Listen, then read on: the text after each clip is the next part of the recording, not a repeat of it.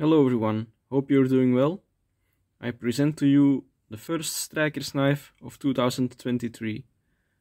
It is, as you can see, my compound model with OD green G10 handles and two inlaid micarta circles. It has a custom made pivot screw that I milled myself. It has it on both sides and a backspacer of brown anodized uh, titanium. Let's open it up. As you can see, the blade has, is, has a hand rubbed finish.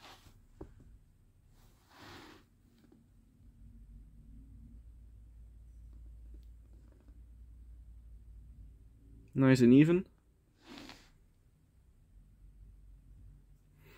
And the titanium has some some pockets cut out on the inside for weight reduction and the G10 handle scale here on the inside has a titanium insert glued in to reinforce the places where the pivot and uh, stop pin come into the handle.